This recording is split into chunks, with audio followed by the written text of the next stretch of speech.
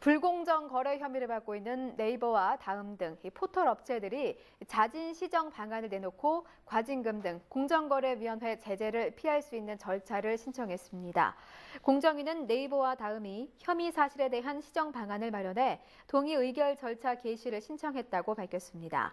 동의 의결제는 사업자가 원상 회복이나 피해 구제 등 타당한 시정 방안을 제안하고 공정위가 그 타당성을 인정하면 위법 여부를 확정하지 않고 사건을 종결하는 제도입니다.